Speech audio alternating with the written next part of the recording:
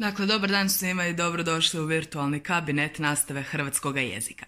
Moje ime je Marta, profesorica sam hrvatskog jezika u gimnaziji i ovo će biti moj zadnji video priprema za državnu maturu.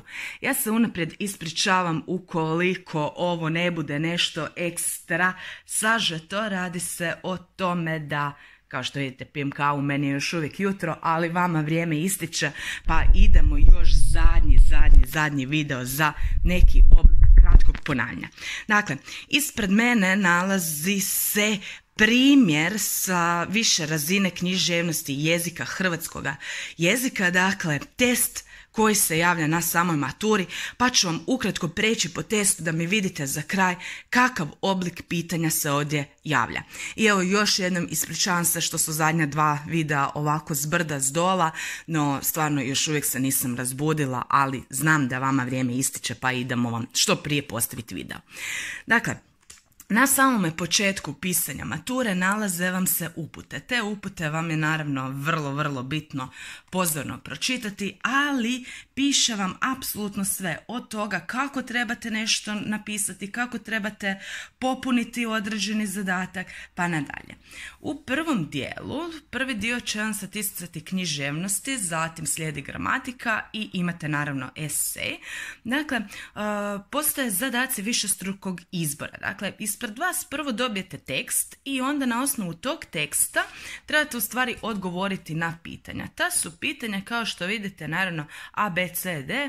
Dakle, vi trebate u stvari izabrati nešto od toga na osnovu teksta. Ovo vam je u stvari tipično, onda se slijedi drugi tekst, pa treći, pa četvrti, no ovo vam je tipično čitanje sa razumijevanjem. Dakle, nema nikakvih u stvari cakica, trebali biste znati neke određene pojmove, dakle što nešto je i onda biste to u stvari samo trebali uh, oprimjeriti u tim pitanjima. Tipa, evo pogledajte o, ovaj, ovaj tip pitanja. Dakle, prvo trebate znati što to znači pripovjedni subjekt, trebate znati kakvi su to sinonimni odnosi da biste u stvari mogli riješiti same zadatke. Ali u stvari ovo nam je tipično čitanje sa razumijevanjem. Evo, još ću vam pokazati nekoliko primjera.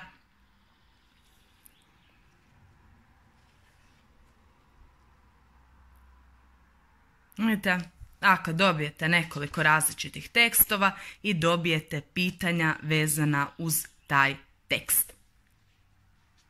Dakle, nije teško, ovo je po meni najlakši mogući dio zato što se tiče isključivo čitanja sa razumijevanjem. E, ovo je onaj dio koji je recimo težak, odnosno dio za koji trebate učiti. To su zadaci bez polaznog teksta. Također su zadaci višestrukog izbora sa dopunjavanjem, ali ovdje vi u stvari prikazujete svoje znanje nečega. Dakle, preispituje se koliko ste vi toga u stvari naučili, ovdje vas se ispituje teorija književnosti, ispituju se neka vaša određena znanja na tu temu. Evo, dakle, morate uh, znati apsolutno sve o svim književnim razdobljima i o cijeloj teoriji književnosti ovog doba. Evo, apsolutno sve. Slijede zadaci povezivanja, dakle kada morate povezati nešto s nečim.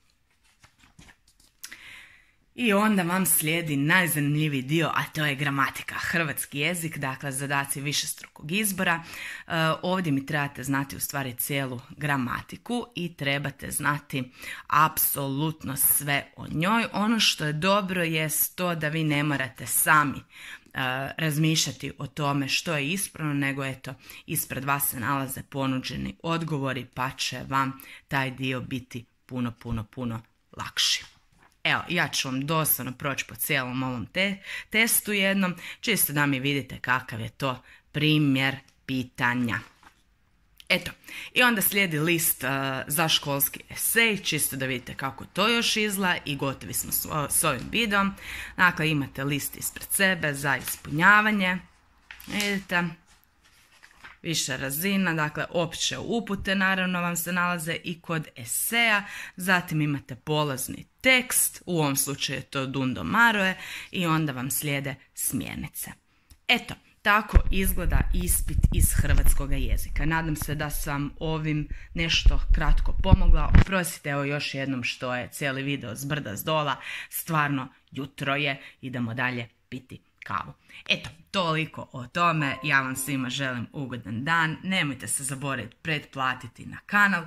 Moje ime je Marta Namčić, magistra sam edukacije hrvatskog jezika i književnosti. Hakuna matata, čao i bok!